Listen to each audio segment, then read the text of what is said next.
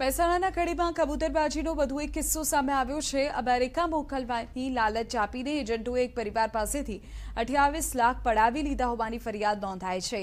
Agent કેતુલપુરી Goswami અને કલ્પેશ વ્યાસ સામે police ફરિયાદ નોંધી તપાસ શરૂ કરી દેવાઈ છે. બનાવની વાત કરીએ તો કડીના નિલેશ પટેલ નામના યુવક સાથે એજન્ટોએ અમેરિકા મોકલવા માટે પચાસ લાખ રૂપિયામાં ડીલ કરી.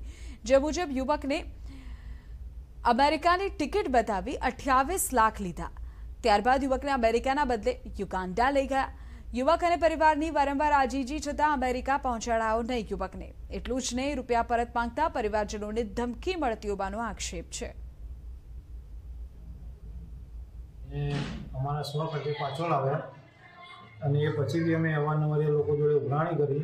તો પૈસા બી પરત નથી આપેલ અમને અને યુએસબી મારા ભાઈને મોકલેલો નથી.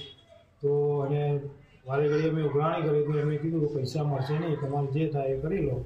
એમ કરીને આવી અમને વારંવાર ધમકી